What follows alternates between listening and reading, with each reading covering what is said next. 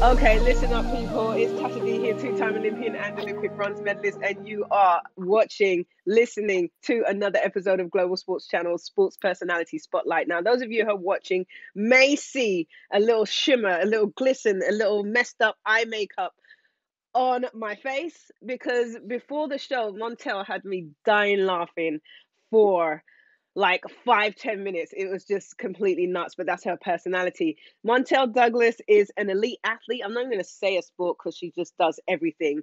But listen if i was her manager and she was working shows in vegas i'd call her charisma because she has it all. Everybody give a round of applause. I don't care if we can hear you or see you for the one and only montell douglas. Montell how you do what are you doing over there? There you go. How you doing hey, montell I'm oh good. I'm God. good, thank you. I'm better now. You know, I'm better now. We had oh a little oh, incident. You had me crying, oh, yeah. crying before the show. You're just mm. where does this personality come from, Montell? You're just so full of life. I don't know. Do you know what? I am a huge I'm a huge advocate of people being themselves. And I think when you when you look at people like, oh my gosh, you do this, this, this, this, and I'm just I'm real, you know, girl. We're the, we're yeah. exactly the same. We're real, and we are who we are, and we don't make any apologies for it. We don't try and hide it in any way. And I've always been quite bubbly. I'm a little bit eccentric. That's why I think, but I think you would agree with me as well. That's probably why it comes a little bit crazy. But I accept it. So then, you know, it's great that you love that. Right, exactly. Crazy is my favorite. So, you know, there's fun, there's crazy. Crazy is my absolute favorite. So that's why we've always got along. Now, for those that are not good with accents, where you from, Montell? Well, I am I'm from the really deep south of Catford. so guys, yeah, I'm a South Londoner, born, bred, proud. I've lived everywhere in London. So I've, i actually was told by one of my good friends the other day, who's a South Londoner also, you're not really, you can't be still claiming South. You haven't been there for years. But I'm like, I don't think you lose. Do you know what? Exactly. Exactly. I was like, you serious? You don't lose that. Like, I'm, I was raised in Lewisham, Catford, the, the, the dirty South, as we like to call it. Um, so I, yeah, I'm from London and I have always lived here, apart from a, a mini stint, about six months in the beautiful of LA. So I'm very familiar with being out there. And I think if things had been different, maybe then I would have definitely gone to uh, America would have been the next place for me to live. But I'm, but I'm happy where I am, and yeah, I mean, enjoying life, enjoying life. Here. Absolutely, and I'm I'm from Sydenham, so you know, as Americans say, South Side. Like I'm, I'm South too. Like I'm, I'm still claiming it. Yeah. I ain't, I ain't been, I've been living in LA for gosh, I mean, since I was 18, which could have been like two years ago, but um, yeah, math is a little off.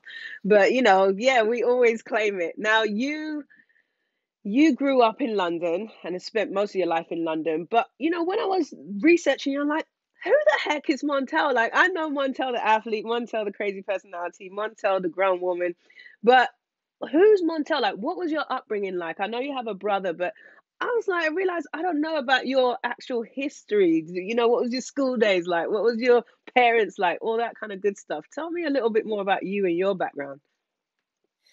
Well, I hate when people say that, oh, they're from, you know, humble beginnings. I guess that's what it was for me. Um, so my upbringing, like you, South, like South London, born in Lewisham Hospital. And I, I was actually born, my parents were really young.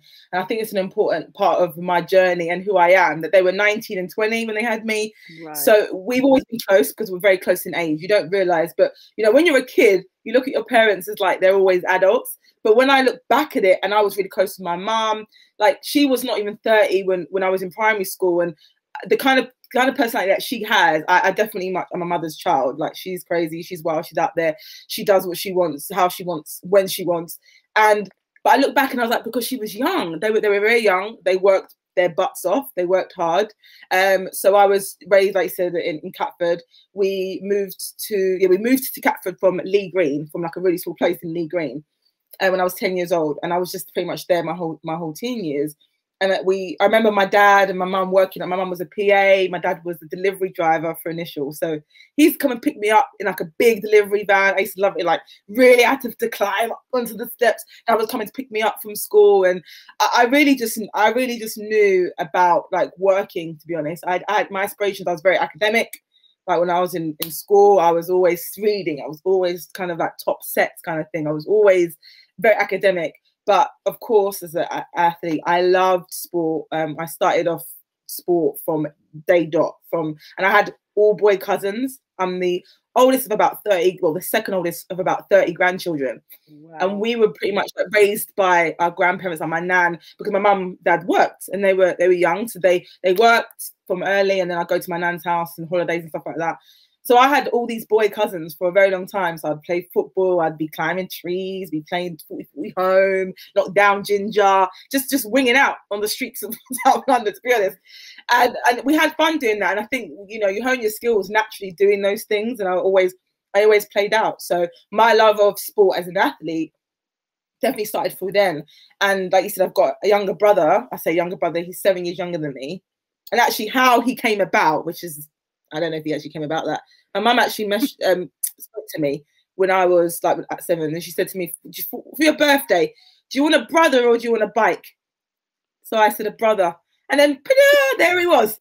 So I'm pretty sure she was already pregnant at the time. Now that I'm older, because I was like, "Wow, she really, she really did that. She, she really gave me my word." yeah, she did. I didn't know what she would have done if I asked for a bike, because that would have been on her, mate. I might have got I'll give you that just in case.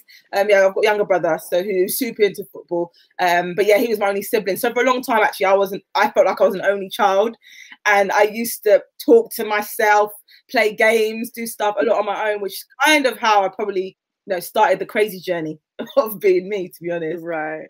Right. So, do you think that you know the hard work that you saw your parents do and the kind of family atmosphere was something that helped you or something that you channeled into sports track and field the team atmosphere the hard work that you had to do? You think the way that that whole family setup was affected how you approach the sport? Absolutely. Yeah absolutely. And and not only that because you are who you are like you do you know what i mean? You, you come into this world actually uh, you're a whole human being already. So the way your personality kind of comes out it can be crazy. So as a youngster i was kind of like really literal. I was kind of figuring out the world. I love obviously meeting people meeting friends but i was my, my kind of like the economy of my family and how we've been raised. Everywhere no one went to university no one went to college. That you know 16 you go to work. But i was always taught by mum like my mum always said to me look you want to do you do a job you need to do it properly always I mean, she was saying this when I was hoovering the house. So uh, I'm sure she was just trying to get me to make sure I didn't leave any crumbs everywhere. But it did the job. You know, it actually did the job. And I and I really did see that. And I really took that on board. I was like, oh my gosh, because when I was when I was born, like a lot of the time people say your first word is mum or dad. My my first word, you know, baby money. my first word was good. Okay. Wow. And it was good because my mum, whenever I did anything, whether it was I ate all my food because I was a little chubby, chubby, and I love eating food, whether it was I was doing, she was obviously trying to get me to play with something and I was doing it, she'd always say, Good girl, good girl, good girl. So my first word wasn't mom, wasn't dad, it was good because I heard it so often. And I think that says it all in terms of when I was as a baby, I got that feedback from my mum telling me that if I do this well, I'm getting kind of that, that reward, that praise from her and from my family, that I would want to do more good stuff. So I just always wanted to do my best. So everything I did from then on, I was just going 100. I'd, I'd go 100 at everything. I'm like, I'm going to hoover this room the best this has ever been hoovered. I'm, I'm going to go hard at it. And it's like, it just took me to every every aspect of my career then on because it really taught me how to if i was going to do something i would kind of fulfill it and, and max it out and that's why it's got to where i got to just like today Right. That raises a great question because there's always this argument, and I saw something online the other day where I think it was a coach had told an athlete, and I don't know what the history was, but he basically told him he's worthless, his parents shouldn't have ever had him, right? So trying to use negative uh, feedback to kind of push the athlete or reinforce. Now, given that you were raised that way, you were able to achieve so much on positive reinforcement. What are your feelings about negative versus? I mean, even Dr. Phil says it takes a thousand. It takes a thousand attaboys just to negate the one negative comment that you gave to someone. What's your thoughts on on that? Um, and have you seen coaches trying to use the negative side to encourage someone, and and does it work? And if it does work, how long? Wh- where do you stand with that? I think it definitely boils down to the, the person that's been receiving information. I, I don't necessarily, I would never count out any kind of of technique. I wouldn't say one is better than the other because we are all different human beings. And what is good, what's good for the goose is not always good for the gander, as far as saying right. Jamaican saying. Like I personally, something that's negative to me, being someone who's I actually am quite critical, believe it funny enough, that you say that. So it might seem that it's negative reinforcements, but I would never put someone down to try and spur or invoke some kind of emotion. That being said, I do think there's people out there that really fuel off that. They really fuel off the the naysayers, the people that say you can't do something, you won't do something, you won't. And there is that element where I have been told in my career. I remember you know, in, in after in about 2010 when I had a really bad injury and they saying to me, You're not gonna run over fast again, you can't do this, you can't walk for three months. Like then very negative comments, but it wasn't in a way to try and get me to be better. I just reversed what was being said to say, Well, you're saying that I can't do all this stuff, but how about I focus on all the stuff that I can do? And and use that energy that you've kind of displayed on me to make it better. So I, I do think that you have to be really careful if you are going to use negative reinforcement as a coach, for example, on an athlete, because not everyone will respond the way that you expect them to. And it's your job really as a coach to get the best out of your athlete, regardless of how you think it needs to be done. If you're saying red, red, red, red, and all they can hear is blue, blue, blue, you need to start saying green because maybe they're going to get red when they come out of it. But that's your job as a coach. You can't keep doing it the way that you feel you're doing it when you're not getting the result that you want and they're not getting the result that they want. So I think having the the, the mindset of what am I trying to do with this person? How what am I trying to invoke? Is it working? Am I hitting home? But also knowing that you know emotions are emotions. Love is the same as hate, as as indifference. They're all emotions, and if we can use them in the right way and trigger them in the right way, you will get the result that you that you want. Absolutely. I think that is the art of coaching is being able to identify who's in front of you and what they need and what you need to do to make them their best. And it's not the same for everyone because just like fingerprints, everybody's different. Now you said you're critical. Are you critical or do you have high standards? Oh, I like that. I never thought I'm I'm taking that. I am taking it, stealing it, remixing it. I'm going to be putting Monty 2021 on that little reference there. Do not cut at me. Tash on Instagram. I'm telling you now, I'm stealing it. um, the best dude, the best still. I'm not remaking anything.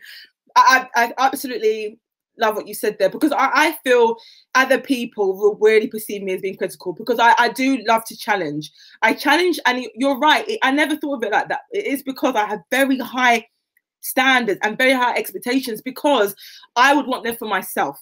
I do not want to be in a position where I am falling short and you're looking at me and letting me do it. Like, don't let me walk out into the road and you can see a car coming. Just tell me there's a car coming so I can be better. But some people are just like, me, I'm gonna let you hit, and then you're gonna learn next time when you get two two lips and you flip over onto the car. When I could have just been like, oh wait, stop, come back a bit, and give you the chance. And I just treat people how I would want to be treated, but not everyone can take that. And I know it because I would always challenge you if you have an opinion for you to give yourself almost like a chance to prove yourself. Like I'd be like the other day, the other day I was talking to someone and I'm like, okay, you've got the burden of proof now. You don't dis- you disagree with me. I want you to prove to me then why I'm wrong. And it's not because I think I'm right. I just want to get your perspective. So you need to explain to me really clearly.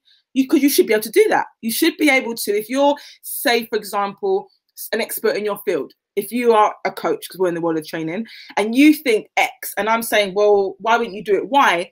I should be allowed to challenge you and your opinion and what you think. And you should be able to show why you think that way without getting your back up, without you thinking that's because if you say you're an expert or you say you want to be better, the only way you can do that really is if you check yourself, like really wholeheartedly check yourself. And if I'm about to say to you, you're not really, you know, you're not really cutting it, or this is not really work. At the end of the day, results are results one coach said to me before, if you told me you wanted to run 12 seconds right now, he said, we would not be having this conversation but you're telling me you want to run 11 0. So you are going to have to come at me with the same energy that an 11 0 athlete is going to bring. So I cannot be angry when I'm not when I'm not fulfilling the, the goals that I'm setting myself. Right. Absolutely. I agree with that because at the end of the day, when you look at even the coaching relationship, some athletes do not don't do not question the workouts, the things that they're being given, because it's almost like this don't question God type type of vibe, right?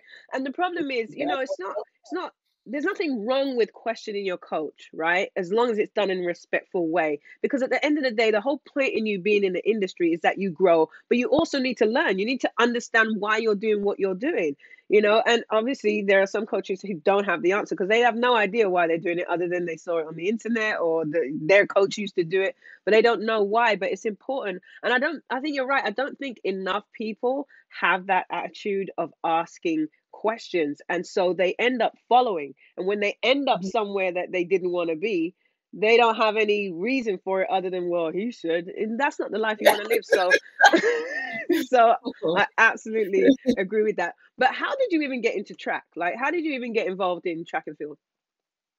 So i didn't get involved in track and field. Track and field got involved with me. Let's put it there like that that she just picked me up and spat me out. No, I, I really do. I think track found me. I didn't find track when I was um in secondary school. I went first secondary school in Bromley in Kent, and we just did athletics at school. So we did, you know, summer term. You do in the UK, you do athletics as a summer sport. So about springtime, you start doing stuff. So I started was in a small hill, started doing high jump. My teacher just said, pick pick a side, run up to the bar, jump over it.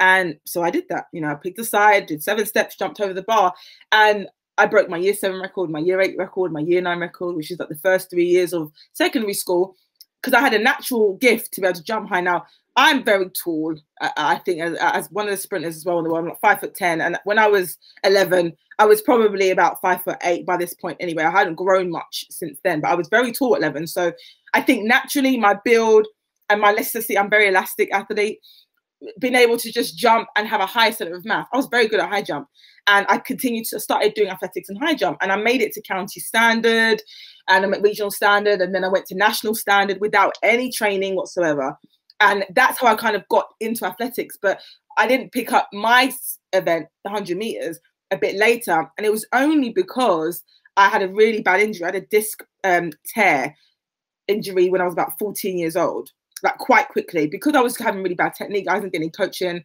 and eventually my back was just giving out. I was getting hamstring tears left, right, and center, and they basically said you can't jump anymore. Like you are done jumping. And I tested this theory about a year and a half, two years later when I was back running and I was getting back into training. And I went, oh, I'll do high jump competition. I, I could probably do one right now. So, you know, I ran up to the bar, went to jump over it, landed back on the ground, couldn't get back up. Like I had to get stretched off. Now this was in the warm up. I didn't even get to put a little a little jump down for the team wow. because I didn't even make it over the bar. And I really remember lying there on the ground and going, "Wow, they were really right. I could not jump anymore because the doctor said if you keep jumping, you ain't going to walk." So I was like, "Well, I don't want to do that. I'm a teenager. Let's not go there." So I kind of was not forced, but highly encouraged by fate to do something else. And my coach, who kind of scouted me at, at, um, at county championships he said to me, I was last in competition. I won the competition. He said, Are you at a club? And I was like, No. Um, do you train? No. And he said, We'll come down to the club, which was actually on the same street of my secondary school. Um, but I never had ambitions of like being a professional athlete because I didn't really see professional athletes. Like the only person I really knew was Linford Christie because my dad looks just like him. And everywhere we go, everyone would be like, all the time, like all the time. They look very similar, and that's the only thing I really knew about track and field. And so it kind of found me because when I realized my talent and I was doing the sport, I kind of just loved it and just kept on progressing from then and took every opportunity that came my way to do as much of it as I could. So when did it go from yeah, this is not really a thing you can do professionally to okay, Linford Christie is more than just my dad's lookalike. Like when did it come to like, okay, I actually want to do this professionally and how did you go about that process? So for me, my thought process towards professionalism within athletics was very late, Ash. But very late. That's like honestly, actually, to be honest with you, after our Olympic Games in 2008, no, what a great time had my gosh. that was the time I came back from Olympics, went on holiday with the girls, came back from holiday, and that was only the first time that I actually thought I'm gonna be a professional athlete. no joke. Like I never had in my mind that I was gonna do this. I always just it goes back to what my mum was teaching me from a very young age. She was saying, we can do something properly. So I always did my best in everything. I, I still try, I do that now. I still do my best. And that's why I'm quite content with the results because I realized from super young age, like my first ever race in athletics, like when I was really young at sports day at school, was against like all the boys because my teacher wouldn't let me race with the girls because she told my dad that I beat all the girls every year from when I was little. So it wasn't fair for me to be with the girls. So I had to go with the boys. And she said to me, I'll mm. give you five pounds if you if you beat the boys. And now this is not in 1996 or something. A five pound inflation has taken robbed it from us guys. But five pound was a lot of money then, a lot of money. And I was buying all the sweets and all this stuff that I could buy with that five pound. And I did this race, and I, I remember going off hard, being in front for so long, looking around, no one's there. Get three calls down, looking around, kind of hear footsteps, and right at the finish line, like I'm dipping, and I suddenly see one boy there that beat me, and I came second in that race. But I was so elated because I did my absolute best. I was like, I've done my best. I'm happy. And I took that through to being an athlete. So I never realized that I was really good. I really didn't for a very long time. And even when I made the Olympic Games in track in 2008, I made sacrifices that year that would stop me almost being for the games. For example, everyone went to LA for warm weather training in April. I turned it down. I told my coach, Ayo, God bless his soul. I said, look, I can't focus on my dissertation at uni and going to LA. Like, I'm not gonna get any work done. And I really, those four weeks without him, leading up to Olympic Games, to me, my grad, me graduating was a priority. I, it really was something that was bigger than me because uh, you know I was going to be the first person in my family lineage to get a degree ever. Like no one ever got one. And to do that and then qualify for Olympic Games, that it was almost like a side burner. So I never really said, I'm going to go for it until I was able to because I worked actually as a waitress from 16 to 22. I only quit that job when I made the Olympic team and then I was now sponsored by Nike and was a full time athlete. So I never had them. I still had the working class mindset of I'm going to be a physiotherapist or I'm going to be a psychologist. I never had that yeah, oh my gosh, I'm going to do this thing and be an Olympian. I'm going to be a professional athlete for years to come until I actually already got there. Right. Wow. That's the first time I've heard any athlete say that. Like, oh yeah, well I was already there, and then I thought, you know what, actually I could do this. So when you when you look talking about and looking at athletes coming up and coming through who want to do what you've done, who want to get to the elite level, who want to go to the Olympics, for them, would you say is is sacrifice an inevitable aspect of getting to that level? Absolutely. I'm not going to sugarcoat it in any way. And sacrifice comes in different forms. Uh, for us, I feel like the sacrifice is always worth it because if you look at the nature of what we do, the day to day run ins, you know, people always want to be motivated, saying, Oh, I'm not having fun anymore. I'm doing this. I'm like, you don't have to be motivated every day because no one really is. But you do have to be disciplined in this game. You will not succeed in anything really without the discipline. So it becoming habitual was it made it a lot easier to go along and like do do the sport that we're in. But I don't think that you can go along thinking that you're not going to be able to give up anything because you have to think about the kind of person, and this is in life in general. I think it it crosses many boundaries. If you aspire to be this person X, then you have to reflect in your values, your goals, in your actions, in your day to day movements, how you're eating, sleeping, moving. That X person, regardless what it is, like they say, like in Sister Act, I said, if you wake up in the morning, girl, and all you can think about is singing, then you're a singer, girl. But if you're waking up telling me you want to be a singer and you ain't hit one little C note in about three years, I'm looking at you sideways, like, really? Like, let me hear C. You're like, I don't want to, I don't want, you need to be hitting that properly because you're telling me you want to do something. Like, you really are saying to me, I want to be a singer. So I need to, you to emulate and invoke what a singer is. So I think it goes without saying to say you have to sacrifice because you got to face it. You might not be that person right now, and you probably won't ever be. It will always be something that you're going to grow into. You're going to personally develop yourself into being that person. So if you want to do track, for example, you say, I want to be the best athlete, you need to start learning your craft. You need to start researching what you need to do. You need to know yourself because who you are off the track is who you will be on the track. And if you're someone who is like delayed, lazy, needs a lot of diet, needs gets a little bored easily, stuff like that, you're gonna have to do things to train yourself mentally, physically, to get closer towards your goal so that it will become easy for you in the long run to actually get those goals. But you cannot rely on making it easy for yourself so that you're going to get your goal because you won't. You won't you won't achieve it. You absolutely have to have an expectation of sacrifice but also knowing where your i call them deal breakers are everyone has them every athlete has them and this is where i think it's really crucial when we don't when coaches you know shouldn't really want it more than the athlete because at the end of the day it's their journey now if they don't want to give enough for it, then that's their journey. They're going to have to live with that. It's your you know due diligence to get it out of them, but you cannot. You can only take them to water. You can't make them drink it. Absolutely. I mean, that's that's so spot on because at the end of the day, who you are today is why you are where you are. What you've been doing up to this point is why you're where where you are. But if you want to go somewhere else, you've got to do something different, and that usually means that something that's already in play needs to go, and something that isn't in play needs to happen, which is mm. sacrifice. So totally get it. Now listen, we are both very young, fresh, and tender, which means that we have seen a lot of things.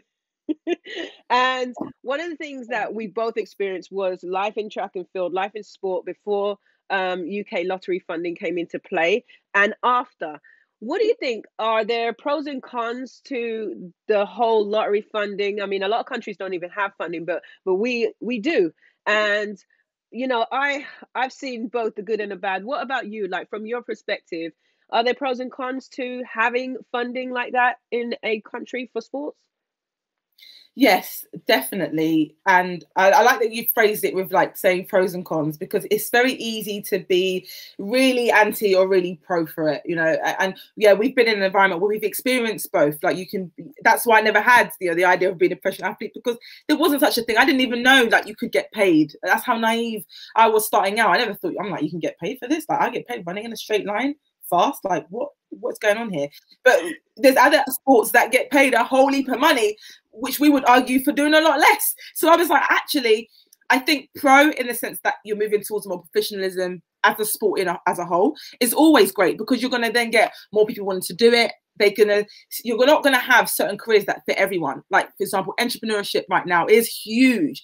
Everyone is their own boss pretty much. And that's the opportunity that you know the world the internet social media has brought to people which to me is great because we, we we like thinking outside the box. We like innovative things. We you know it's that kind of part of us being an athlete that's a little bit quirky, a little bit different for why we could pursue something in sport in the first place. But I also think that you're absolutely right in saying that is it is it positive negative? Yes, because it becomes whirlwind. And when we look at UK, for example, in terms of I would say the junior rankings to the senior rankings, I think that's when it becomes a little bit a little bit trickier. I think with the seniors, if you're already kind of getting those accolades and you're already getting that, there's not a huge difference. However, when you are very young, for example, you do one little quick thing and then you're getting all this attention, it can produce a real a kind of laid back um mind mindset where number one they're just doing it for the money. And we all know that it don't pay like that. Like you're looking at the small percentage the one percenters.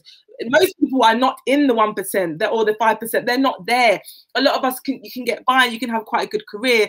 But most of the people even medalists will not experience that what you're trying to aspire to. So it, then it boils back down to expectations. If you expect that you're going to reach those high accolades those high echelons of it and you don't get there, it can be really detrimental to the, the person behind the athlete. And I think that's when it becomes tricky because you give up, they get so much so soon, and then expectations rise up, and then what they're doing doesn't match up, and then there's a mismatch. And that's when I think can be dangerous because then you're not doing it for the right reasons because the reason you're doing it for actually are not really realistic. And for you, whoever it might be, I would want to say was realistic for someone, but they might be trying to achieve things because of those things that are in, in place that they might have not originally started off doing that. We all started because we had fun and we enjoy it, but it's kind of like that's gonna it might it might run low, but generally you want to still have a passion for what you're doing because you're gonna do a better job at it. Do you think there's a way to fund the sport in a balanced way that doesn't create that type of environment? Where the athlete I sort think, of gets complacent or there's that mismatch? I think the mismatch and that in terms of the funding, I actually don't think that the like the money is the root of all evil. I think what people do with it is the root of all evil, and I, am really strong on that because it's kind of like the mindset of oh, you get more money, you get to think. Well, actually, no, that actually amplifies the kind of person you are most of the time, and also the way you are treated externally by those people. For example, say you're getting suddenly your top then will have an impact on how you perceive yourself and also how you project yourself into the world. So you get almost changed, or you might be kind of swayed by just the things that you're receiving. And so I don't think changing it almost the funding structure in the way it is because we're still at the very beginnings. I feel I feel like there is so much in sport, in athletics, sorry, track and field, that could be done better. But I definitely think it needs more attention on the networking, how people structure the grassroots in terms of just the kind of team people have around them when they are at those breaking points, when they are getting those funding, are the people around them looking after them? Do they have their best interests in heart? Are they setting them up for the end? Are they preparing them to be a better person away from their sport? These are the things I think would help bridge the gap between whether the funding is a pro or con. Because I really think it's the way it's managed rather than it's like the amount they're getting or how often they're getting it. I think it's just the fact that people don't manage the, the individual very well and don't really have their welfare at best at heart. So they almost get dashed to the side when they're not doing well or then brought on board when they are doing well. But there's no in between. And so you get a huge, huge disparity between you know, the haves and the haves nots. Absolutely. Absolutely. And like you said, there's those moments of being up, you know, and everyone's with you, and then being down, it's like, who's that again? and I'm sure, I'm sure with your own career, you had plenty of those moments. But what would you say is the most memorable moment you had in track? Oh gosh, my most memorable moment absolutely has to be my British record. Um, and and it and it's that because of of definitely the build up to it. I always think the journey for me in my career has always been the defining moments in my career. There's never been those one-off outlandish, oh, I just did that and I won that. It wasn't. And I'm sure that you absolutely can resonate with that because I met like I, I remember seeing you. And we're the only one. I think we were the only ones on the team that wore a leotard. Forgive me, not like I think we had that the all in one. I know one of my 100 meters, and I was like, Tasha's wearing hers doing the hurdles, so I'm sure I can use it for just 52, like 51 steps. Do you know what I mean? This one's doing a full lap, and and I just think like when going to like being in Olympic Games for me was was huge, but the build up towards that and becoming the British record holder was even bigger. And namely because I said to you about the sacrifices that I made beforehand. I, I really prioritized my academics that year because it was really, really important to me to have that there. And I'd obviously been doing that my whole life. Um, and I made sacrifices to not go away in training. Um, to, I got injured actually six weeks, like the beginning, my first, after my first race, I got injured. I had a grade two hamstring tear, six weeks out. And that's really close to, to the games and, and qualifying for the games. But the feeling for me was because we had done all those things, and Ayo, like I said, my my coach was absolutely just like a godsend in trying to keep the faith and keep me going and keep me focused on the job at hand. And it was never too late. It was always like it was never too late. And we were training before then. I remember we doing it like some runs and training, and him saying to me like, you, know, you can run 10 9. I thought you just did there. And I was just like, what? I'm like, really? And we weren't trying to do it, but the training was speaking for itself. Like I was really, really in good shape. I was flying well and everything was coming together, but nothing matched really like crossing the line and, and seeing the time and hearing, I can hear him now say the commentator, and he shouts out, and that's a new British record and Ayo sprinting across the track, like Ayo ran 11.05 just coming to get see me, mate. Like he was gone. And he ran up to me, and I've even got a picture now, image. There's pictures of him having his arms wide, me having mine out, and he's shouting, "We did it!" He just said, "We did it, Mon. We did it." And I, that feeling, I could never ever replace or or kind of share and really describe what it feels like because it's part of it is relief, and I know you know this because I saw your face he's looking at the clock. And Tasha's like, we're all watching. We're like, oh my gosh, what is it? And then she's like, yes. And I can see you do it now. I can see you go, yes, because you're just, you, you, it's an unbelievable feeling. Now, I haven't won a medal thing, but it, I can imagine it was the same feeling just of that. Oh my gosh. And I remember I dropped to my knees. I dropped to my knees and I was like praying. I was like, thank you, God. I was on the floor, like literally down, saying, thank you, God. Like, wow we really really did that. And everything was just a whirlwind after that. And I, I, had the best time in that in that sphere and really embraced who i was and had the just had fun. And it was a great i think with the team obviously it was a great atmosphere but nothing for me would ever match those feelings just because the journey schools it was very like an unusual one. Right. So i mean i i totally i can like you said i can relate to that feeling that moment when you got that. But i wonder now you are now the British record holder. Expectations I've just gone from like here to here to here to here. Like they're just through the roof now. What's the is there like a new added pressure to maintain because you know they say it's easier to to get an A than it is to keep one. Was it like that for you? Uh, yeah, absolutely, without a doubt. Um, looking back now, when I was reflecting on this yesterday, actually, um, speaking, I had, had a podcast doing an interview, and I, the same thing fluttered in my mind. I never really actually thought about this, whether I did have added pressure, because I don't really perceive external pressure. It's not in my nature. I'm I, I don't really worry about that kind of stuff. I will, I'm not even taken on by it at all, just because of the way I am. Like one of the guy, this guy usually once said, I don't let anybody say anything about me or worry about any opinion of someone. They ain't gonna pay my bills. Like if you if you ain't paying my rent, I don't care what you got to say because if I'm homeless, you ain't gonna be there anyway. So who, who, cares? And I, and I really get that. I really stand by that. I'm like, you can't care. Life's too short to worry about that. As long as you know, my mom's not gonna be just like embarrassed by me if I don't do well. I'm, a, I'm not gonna have my family is still gonna be my family. But without realizing it, there was huge pressure because, like I said, and for me, I think it was a bigger shock because I never aspired to do that. I really didn't even go to the games to perform. I, I know that now, looking back we didn't have a real goal of where I need to be. We are just trying to get as far as we can get. And I would never do that now. I would be like, right, we're going to have a goal. We're going to actually have something tangible we're going to work towards. But it was always bonus round. It was like, oh my gosh, uh, uh, I finished. Oh my gosh, British record holder. Oh my gosh, I'm making the games. They're bonuses. They were all bonuses for me. They were lifelong dreams. So it, it, for it to all come at one time, I wasn't really ready for it because I never asked for it. I was just trying my best. It just so happened that my best became the best that anyone's ever done and then suddenly I'm like, oh, so so what now? And I'm a full time athlete. Remember, I'm not I'm not um, working anymore. I've got Nike sponsorship. I'm an Olympian. I'm Britain's fastest ever female athlete, like 100 meter runner. That you're 22 years old. Like now we know in our good old ripe 25 year old age, we know that when you're 22, you don't know nothing. Sorry, 22 year olds, but you don't. You don't know nothing, and you think ready. you do. You, you say, hey, and you think you're grown, and unfortunately you know you're not there's so much more growing for you to do as a person for you to learn about the world.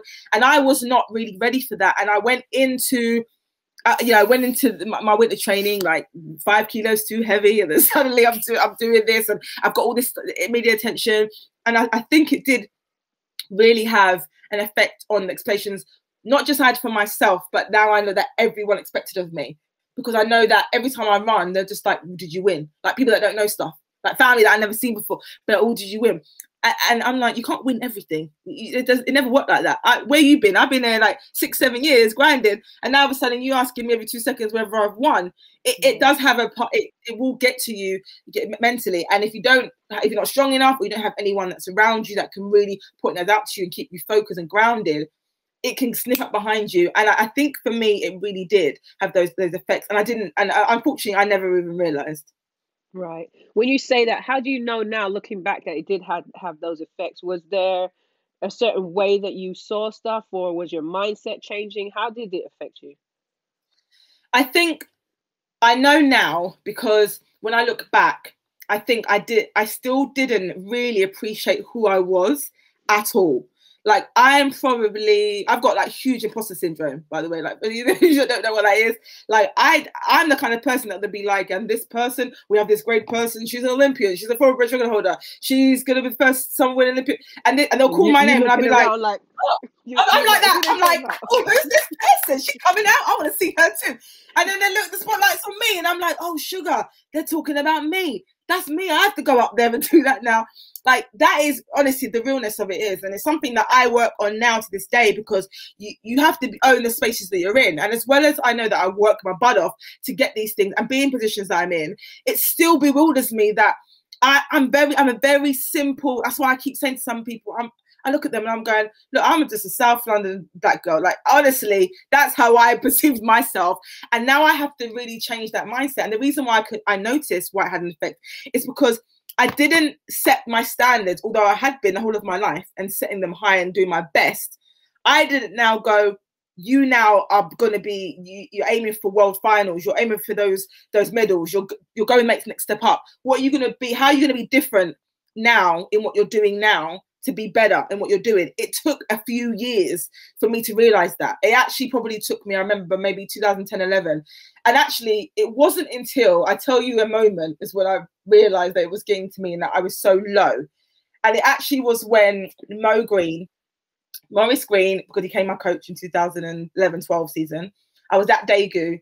And Maurice, someone, one of the twins, I think it was Mick, I don't know who was there, Mickey or Mel was there and came up to me and said to me, I think it was Mickey and said, Someone, someone's got their eye on you. And I was just like, hey, what were the but she didn't mean like that. And um, I was like, oh, okay, cool. And she was just like, oh, someone's eye because he wanted to coach me essentially. And when I spoke to him, he had said to me, look, you basically just said, you know, you are fantastic. You are not getting the respect you deserve you've got so much potential and i want to help you guide that and he was the only uh, honestly, that conversation, my mind, it blew my mind. Because again, I was looking around like he wants to talk to he wants to talk to who, but for someone to see the potential in me, I'd realized that since 2008 up in 2011, I had not given myself the credit that I deserved, and I had not really matched up to what I I could possibly do because my actions weren't showing that. And that really became a turning point when I realized late that that's why you didn't realize because when he said that to you, that was a shock. And really and truly, it shouldn't have been just for those who don't know track and field, Maurice Greene yeah. is one of the, I mean, he's one of the people who ran the most under 10 second times in in history so for someone of that caliber to come and say that is you know where you can put that in perspective when you really know who that is this wasn't just some guy from the gas station who he said, "Hey, you're looking hey girl, good." no, you had a fantastic career, Monty, and of course, like being a British record holder is a huge part of that. But eventually, that all comes to an end. You you did eventually retire. Did you know when it was time? Were you ready? Were you prepared? How did your retirement process go? I haven't even retired. I never. Do You know what? Like I never. I've never outland outwardly said I'm retired. And it's probably part of the thing that I thought like, I, I do I need to say it? Do people care? I'm like, do I say anything? But mainly because I was always a trier. So like I am I actually although I have that weird imposter syndrome thing where I'm like, oh, I'm not sure if I can do that. I believe I can do anything. Like honestly, I really do. I don't know if you feel like this. I'm sure you do.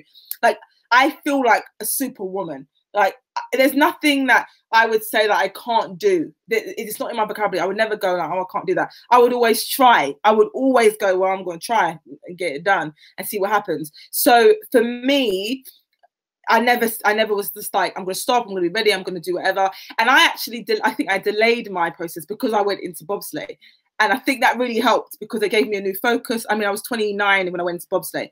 So some of you going like, I thought you was 25, but 5 and 5 plus 4 is 29. Hey, don't worry anyway, about the math, man. Don't worry about the math. yeah, like, don't worry about it, sweetheart. Don't worry about just, it. just know we're 21 still. That's all you need to know. so the transition into bobsleigh actually really helped me have a refocus and a new challenge. And so at such a late time in my life, it just had a new spark. So I didn't really kind of, I was still kind of focused on that things. I still wanted to do it and I had an, uh, an amazing um, 2017 when I was with Michael Afilaka, which is a British coach, British Olympic coach. I joined Michael and I was with him for about two years. And in my third year, I was in absolute insane shape. I just come back actually from my first bobsleigh season. I had about eight weeks, 10 weeks out there. We did really well first season and I was in great shape. So I came back in and did an opener and actually opened with my fastest ever opener in 100 meters. Now I was ready to go. Like I was really ready to go. I'm like, we're gonna do this. My coach is like, cool, we're gonna do it. And training, I was flying like every session for about two weeks was PBs on anything. You give me a 30, I'm doing a PB, you give me that, I'm giving a insane. And unfortunately, this is when I learned about doing two sports. That I, I ruptured my hamstring, completely tore it off the bone, 4C, like done it. It was not attached. I remember sitting there, lying and there, screaming my head off, grabbing my thigh, and saying, I don't think, I looked at my S&C coach, everyone was there, they ran over. And I looked and I said, I don't think this is attached. And she just was like, oh my gosh. And she nearly threw up and walked away. Because I was like, I, it sounded like someone shot me. I heard it outside my body. And it felt like someone had just go, a dog it into my hamstring. Like it really felt like someone thumped me up. So mm-hmm. I was just like, what on earth has just happened? And I screamed out. And my coach actually said to me, what happened? And I was just like, it's gone. And he said to me, I thought you screamed because you ran so fast. and he showed me the clock and he went, he's trying to PB. And eh, that's where I was. So this is 2017. So this is what, four years ago now? It was May 18, 19, 2021. Really, and I was still doing track and I ran fast, but then I had this injury and I said, okay, I'm done. I can't do this myself anymore. I can't balance the two. And I also can't do this whole, I had to have surgery. I had to work my way back and go back into to I'm focused on bobsleigh. I have been focused now on bobsleigh for the last three years. So my retirement was so delayed in in, in athletics. I never thought I needed to announce or say, "Oh, I'm definitely done now," because I did a new sport, and it kind of glossed over it. And I looked back at it even now. I'm like, actually, if I get in great shape next year, I might just do a little indoors. Uh, I'm going to be V35, but I'm still, I might do it. But and mainly because I love track. I don't think I'd ever. I don't know if I'm ever going to retire from it. I think it'd be something that I love to do, and I almost think like because how how good I don't know if you feel like this, and I'm sure you probably do that. I'm not allowed to do track for fun anymore. like if I ever said to someone, "Oh, I might go and do a race next year for thing," they'll be like, "What? Like you're still doing? Why are you still doing athletics?" And I'm like, "I'm not doing it to be there. Like I love, I actually love training and doing it and being fast and stuff. See if I can push my body, and if my body's healthy enough to do it, which it is, it's super strong, and I'm PBing even now to, then I'm gonna do it. So I never, I don't know if I'll ever retire. I mean, you might have me on here in about 20 years' time talking, talking about like, oh, so you just broke the record for uh, for the under 60s. Uh, 60 meters when you run about 8.3 seconds. How you feeling? That's what we might be doing. I, you heard it here first, folks. That might you be heard it right. no, listen. First of all, I know that pain with the hamstring. 2009, the same thing happened to me. They said one more fiber and that thing would have been off the bone. That pain is unbelievable. Crawling to breakfast is the situation. But yeah, I know what you're saying with competing into your dear old age. Just like even now, though, I got to be honest. Sometimes when I'm running, I feel like um, for me, I feel like on the outside it looks like I have a Zimmer frame. Like I feel like I'm moving, like yeah, got this, and then from the outside they're like, this old, old, old lady needs to sit down. the body just feels different, man. Oh, yeah. You know, four years now, you you've you're, you're kind of really getting into your career in bob, bobsled. How how the heck did you just spring up from summer sports to winter sports, and and what what's the goal now? Because I know you recently went to a major championship. Mm-hmm. Yeah, so I got basically scouted. I guess I I, I was invited to come down um, and try out for bobsleigh because uh, one of the coaches was actually from the British athletics team, very long time. Michael Kamel, he was one of the coaches within the mix. I knew him for years. He knew me, and he said to me, "Come down." And he actually tried for about two years before I actually went. Every year he was going to me, come, come just you be great, coming down. They really wanted bigger, faster girls um, because weight is really important in, in bobsleigh. So to be a bit heavier helps. And because my natural frame and my height, I'm naturally heavier than the other girls. I'm naturally fast anyway. So they were just like perfect combination. And I went to try out and actually broke the evaluation testing record, the GB record that they get you to do basically to see how how you are. And I scored obviously the, the best. So when I went from from going on then to going on ice, it, it was an easy. I say an easy transition. It was a, a nice transition. It was very very steep learning curve for me. Like I had six runs down the track before my first World Cup race. Now, World Cup race in bobsleigh is basically like a diamond league. Like you, you're in the deep end. It's GB. You, you're straight in. It's the highest thing you can do before you do World Championships. So I kind of went into that, but I was kind of tricked because the testing is like at my local track. You have to run a couple 60s. You have to use this trolley, which is called a roll bob, that you push, they measure your time. You have to do some jumps into the pit. And then they go, yeah, great, you're great for bobsleigh. And then you get flinged down an ice mountain at about 140 kilometers an hour, and your body's folded in half. Like you got five to six G's going through your spine. You know what that, you know what that feels like. Oh my god! Honestly, I said the mm. Lord's prayer the whole way down for my first run because I thought I was like, this is it, this is it. I'm not gonna make it. Like it's mm. hard, it's very tough. Um, but I'm a bit of I'm a speed freak. I'm a adrenaline junkie. I love fast stuff like Formula One, cars, anything, anything that's fast. I, I do enjoy. I love that stuff. So I just loved that it was a new sport, never done it, new environment. Like, I was seeing mountains with ice and snow on it. Like you know, in Catford, there's no mountains, right? Like I, I, was like, what? Uh, where am I? Is that a mirage? What is that there? They're like, that's the Alps. The who? The where? The Alps. I don't know. I don't know what it is. And we do a summer sport, so we go to hot countries and we're wearing the crop top and knickers. I'm not in a full snow suit with hat and snood. Like we don't wear this stuff, but it was such a different environment, and I loved that it was a new experience. So for me to just keep progressing and pushing, and now when I look forward to it, I just kept on resetting goals. And last Olympics, I went as a reserve because I'd snapped my hamstring. So that was the six months before the Winter Olympics is when I snapped my hamstring. So I had to do that whole journey back, crawl my way to make the team, and I made the team as reserve and got in insane shape. But now my goal was like, right, I want to make the Olympics because making the, the next Winter Games means that I become Britain's first summer Winter Olympian female. There's so many men, the men are doing it, but sisters need to be doing it for themselves. So I'm I'm I'm trying to lead from the front here. So that's that's my goal. That's why I'm still here. That's fantastic. That is absolutely fantastic. Hold on, where am I? Get in there. Get in there, Tasha. Tasha, where are you? Oh, there you are. so I want to ask you then, when you look at the things that you learned from track and field, the things that you did do, the things that you didn't do as a track athlete, what are those things that have now made you better? Like okay i didn't do this i need to do this when i'm a bobsled athlete or i did do this i need to even like bring it even bigger. Are there any things like that that from that long journey as a track athlete that you've now taken into bobsled like okay i got this yeah. Oh, good one. So yes, because it's been so new, and I've had to re not reinvent, but kind of remix myself. You know, you just sprinkle a little bit something extra each time. That's what I've kind of taken on board and doing. But one of the greatest things, I guess, being being a senior athlete, you've been in the game, I've been doing it for 20 years, and I kind of know what I am, my body is and your body changes hugely. Like you, when you put in that much work, that you don't need the same amount of work. You don't need the same amount of process that you've done before. And as long as you're learning as a person, as an athlete, you can make the better decisions for yourself. So one thing I definitely have taken into bobsleigh is definitely the mindset because paramount, you know, physically I'm there. I don't need anything more, but I do have to be smart in the way that I apply myself because in track, one of the things that confidence is a huge thing Okay, self efficacy within any specific environment is a huge thing and it can count for a lot. You can beat someone in a 100 meter race, a 400 meter hurdle race in shot put just from men be mentally better than them before you even get inside the call room because right. that is a big thing. And, and we all know that we've experienced before, whether we've been on either end of it, that you can win it before you even step out there and hear your name on the start line.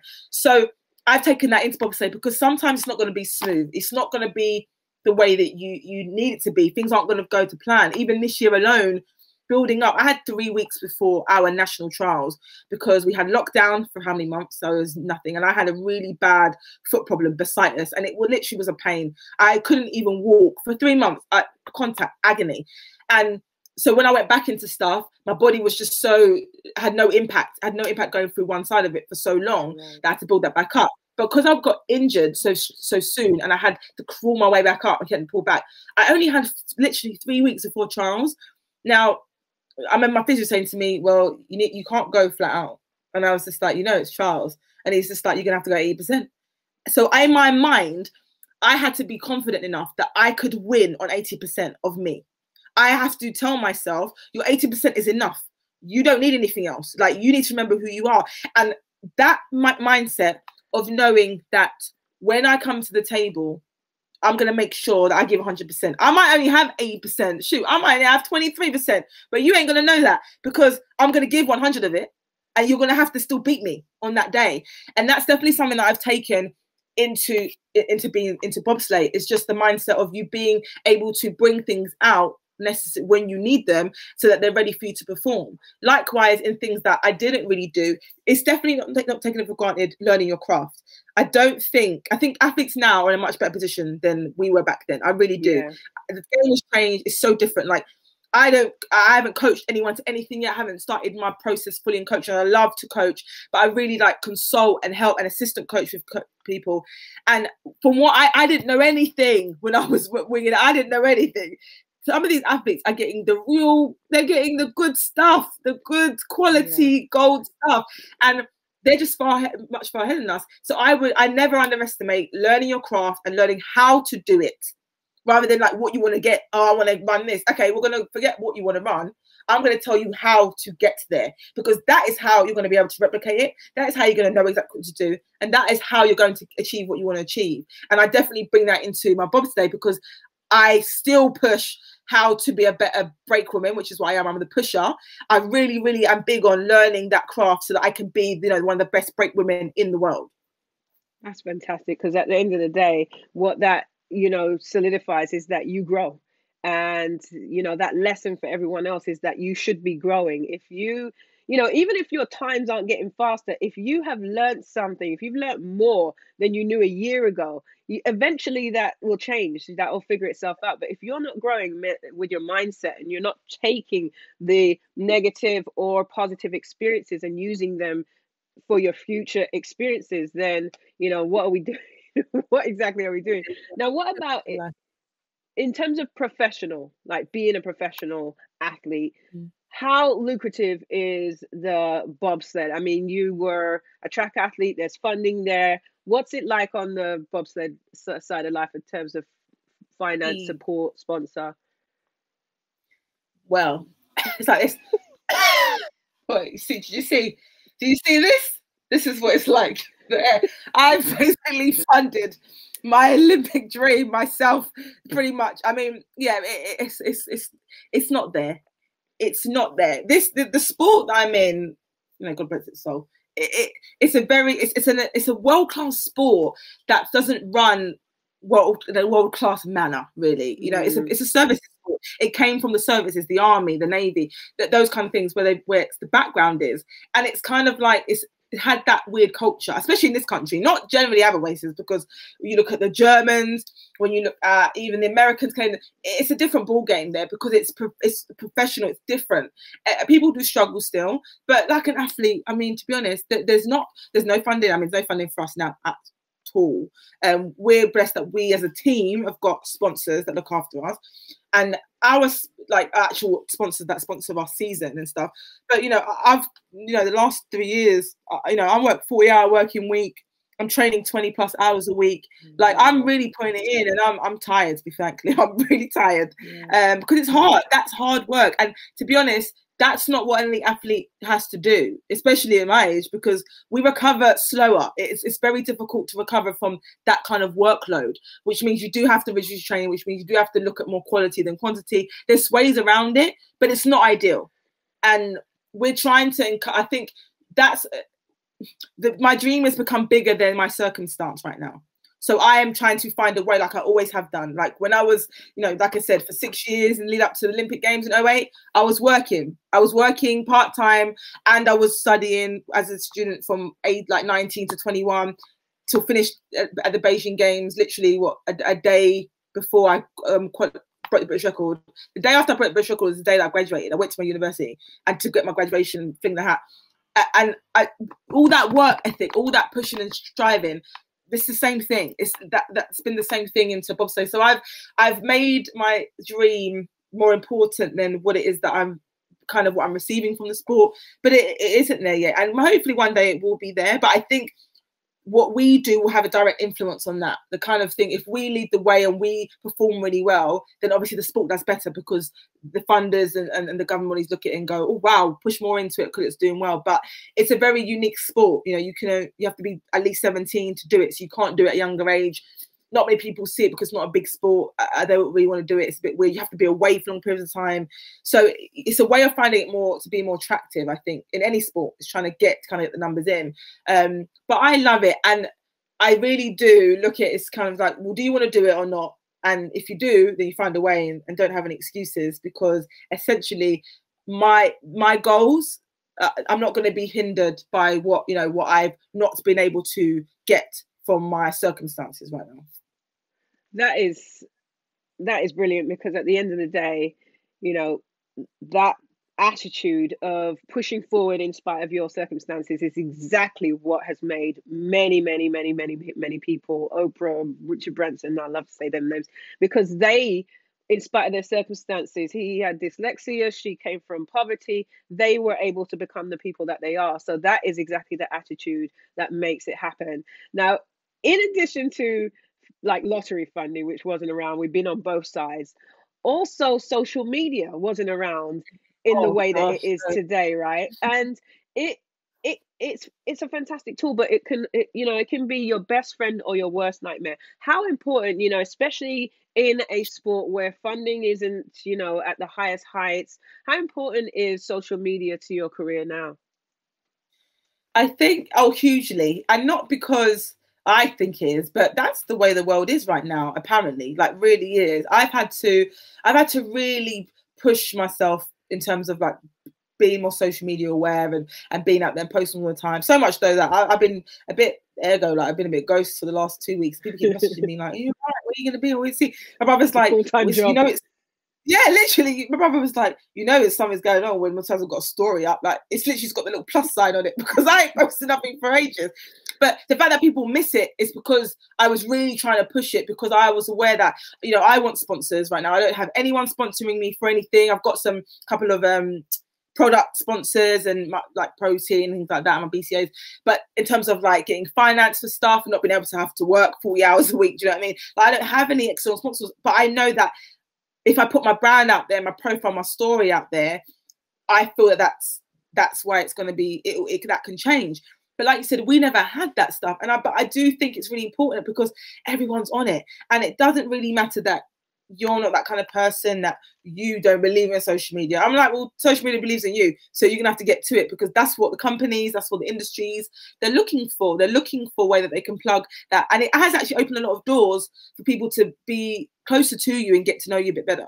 But I, I do think, for example, if it was when we were around, can you imagine? I mean, I just got my Facebook account I think in 2007, like the year before or something. I remember my friend telling me about Facebook, and I was like, what is this book of faces? forced me into Facebook. Yeah, then all of a sudden you, you, you get just, me off. And suddenly just become addicted. We didn't have that. We just got it. And it's kind of like, imagine if it was then, but you know, our lives would look very different now if we had it 10 years ago. Absolutely, without a doubt. Come on now, it wouldn't it be? Because yeah. where who we are as athletes then, the athletes that would be now, you'd have millions of followers, you'd be, you'd, it would be, it'd be completely different. And it's kind of like, that's opportunity that social media gives to people. But it also can be quite challenging, I think, for them because you will get trolls, you will get people that will say negative things. You have people do have access to you a lot better, more than what they would have had there before because I never really had people say negative stuff or the media really because I, you just don't get that. Whereas here, they're a lot more. It's a lot more access for you. But I think if we try and use it positively, like you said for my sport, I just put it out there because people don't really see. I mean, you ain't going to see no other person that looks like me sliding around on ice. Especially in this country, it's not going to happen. Mm. So I am being the voice for that to show you that you know things might tweak a little bit, but you can still achieve something if you keep your mind open and and be open to the new opportunities. Fantastic. So you've been at the elite level in two sports right? That's there's not a lot of people that can say that. Um, for up and comings people who want to be the best at what they do if you could say you know in a nutshell what does it take to be great at pretty much everything you attempt everything yeah. So absolutely number one if you want to be, like you said, be good at anything or be the best at, or be not the best, it's your, your best, best. Yeah. at you attempt. Because we don't ha- really have, uh, there's not this quantifiable thing of like, that's the best. I mean, you could in chat be like, well, you got to run 10 9, you're on 11 no. There's very something very tangible that you can try and try and get to, but you're not going to know if you can get it unless you do it, right? So I would say categorically, definitely number one, you have to like I said, be willing and being prepared to put yourself in uncomfortable positions. Like you cannot be comfortable with being who you are because if you're aspiring to be the best at something, like you said before, it means something needs to change. It likely means that the way you're looking at something has to be looked differently. The way you're approaching something has to work differently. You have to move like this. Those things are not comfortable. It's not going to be nice. It's not going to be pretty. It's not going to be easy. But you categorically, if you want to be the best, you look at what the best is in your field, whether it's a designer, whether it's YouTube, whether you are on social media, whether you're an influencer, whatever it is. If you're in a realm where you're a coach, you look at I would say you, you know don't reinvent the wheel. You you look at the best and say, do I reflect exactly what it is that I'm trying to be? in various different parameters. There are different ways you can say that. And athletes really easy because we're athletes to look by. So I can look at an athlete and I tell this to the guys that I assistant coach, saying, you guys are coming and saying you want to run X, Y, Z. Now look at those people that you know that do run these times And would you say that you reflect the kind of person when you look in the mirror? Are you seeing that person that is worthy or someone that is reflective of what you would expect of someone that's going to run that? And there's your answer because mm-hmm. it takes on everything. Then I don't have to go into like you need to be confident, you need to believe in yourself. Well, all those things are absolutely true. You do need to be confident. You do have to believe that you can actually do it.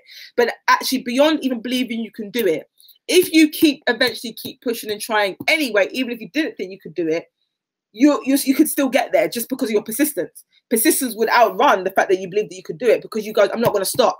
I'm not going to quit until I get it. And it's not believe that you think that you can do it. You're like, I'm just gonna not gonna give up. I'm just gonna keep getting up because, like you said, people don't lose a boxing match. Usually, they use because they don't get back up. Like you can't beat someone that just keeps getting back up. So you have to be willing and prepared to keep back getting back up. You have to be reflective in who you are as a person now and where you want to get to and absolutely ensure that when you are attacking these things and to be the best, that you are giving everything that you can give to it, the right things, and you do that by researching what you need and researching all the things you need at any one time, and make sure you're putting 100% of whatever you have at that moment into it. You cannot really leave rooms for excuses, but being reflective in what you're doing also allows you to understand and, and understand that if you have good reasons not to be too hard on yourself, because a part of the process is as well it's being understanding and realistic about what it is that you're doing.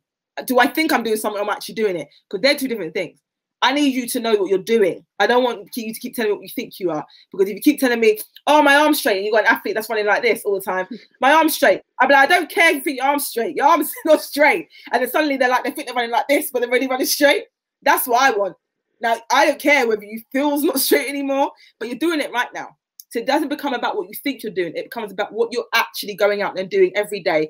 And that's the only way, those small marginal gains, looking at the small things, breaking them down, is the way that you're going to get to be the best or your best, more importantly, in your field. Absolutely.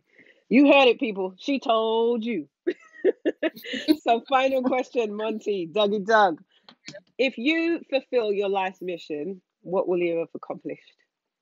Oh gosh, what would I have accomplished? That's a really scary question. Um, I really struggle with this because I want so much.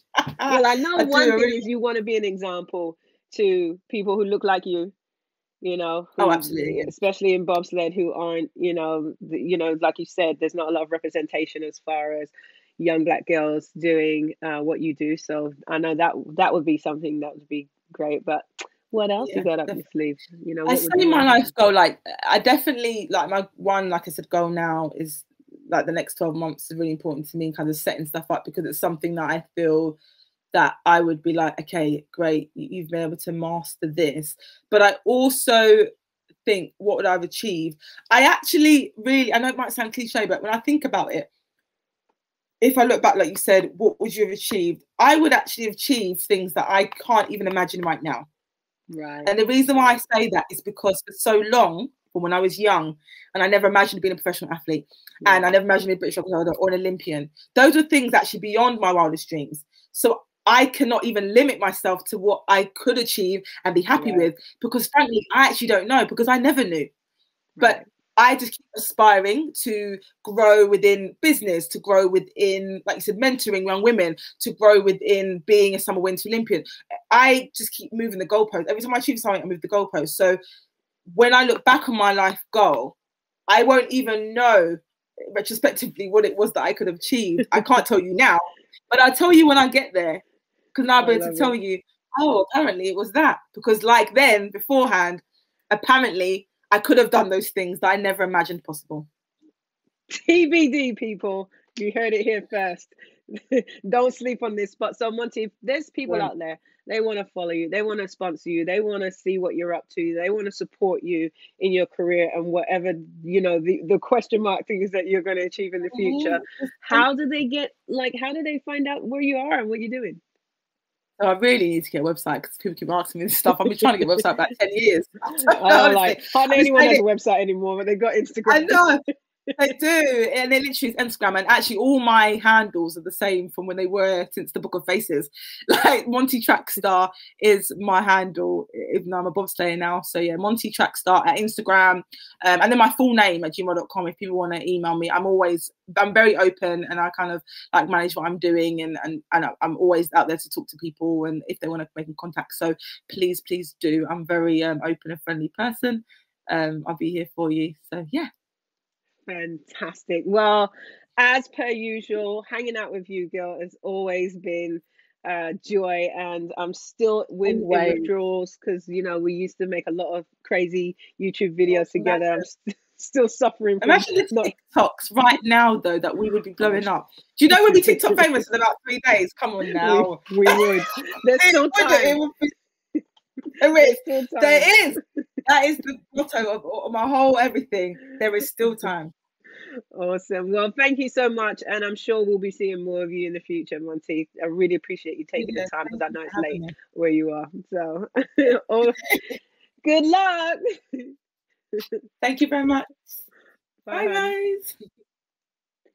Listen, I probably should have like cut that interview off like half an hour ago, guys, but I just think she's such a star. She's so amazing. She has such great things to say, such great perspective from uh, the way that she approached her sports, plural, and the way that she's determined, even now, you know, at an age where people would have already packed it up. Listen, I put so much effort into one sport already. I'm not starting brand new. She is very determined. And I think it's important for people to see that attitude, that gusto, that drive, and what it takes to to create that. So I hope you enjoyed it as much as I did. Don't forget to like, share, and follow. Remember, there is a bigger movement happening behind all these interviews, which you can find out more about on www.globalsportschannel.com and www www eliminate most of those w's and just leave three dot loveathletes.com find out more find out how you can support the careers lives and retirements of track football rugby any sport you can think of, we are here to support. So you can too. Check it out. That's all from me.